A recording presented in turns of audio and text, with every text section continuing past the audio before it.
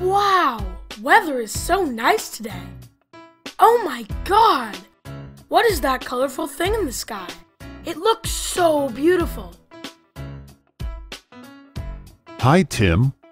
May I help you? Who are you? You look so beautiful and colorful. Thank you, Tim. I am your friend, Angel. You wanted to know about the colorful, beautiful thing in the sky, right? Yes, you are right. Okay, I'm going to explain this to you. Wow, that's so exciting. This is a rainbow. Do you know what is a rainbow? Oh no, I don't know. Can you tell me what a rainbow is? It's a curved line of different colors that sometimes appears in the sky when the sun shines through rain. Hmm. Now, what are you thinking, Tim? I was thinking about how a rainbow is formed. Rainbows occur when light and water combine in a very specific way. When a beam of sunlight comes down to Earth, the light is white. This white light contains all the colors of a rainbow, and these colors will separate if the light beam happens to hit raindrops on the way down at a particular angle. The angle for each color of a rainbow is different because the colors slow down at different speeds when they enter the raindrop.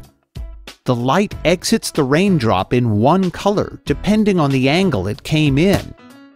So we only see one color coming from each raindrop. Light at different angles coming through many raindrops form the rainbow that we see in stripes of red, orange, yellow, green, blue, indigo, and violet.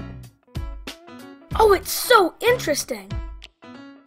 But there are so many colors in the rainbow, I'll forget the names. Let me simplify this for you. Just remember this mnemonic. Richard of York gave battle in vain. Red, orange, yellow, green, blue, indigo, and violet. Thank you for making this easy for me. You are welcome, Tim. I've one question. Why is a rainbow always in an arc? Well, rainbows form a complete circle. However, only half is visible. The horizon only allows us to see half of the rainbow circle, so we just see an arch. What causes the rainbow to have a circular formation is the way that rain droplets fall. The rain droplets do not fall in a flat sheet. However, they tend to fall at various distances and speeds. On some occasions, you can see a full circle around a garden hose. Wow, that's so exciting. Tell me one thing. Why can't I find the end of the rainbow? Isn't it ending at some place? A rainbow is an optical illusion, so you just can't catch up to it. When you move, so does it. It's great. Now I understand all about a rainbow.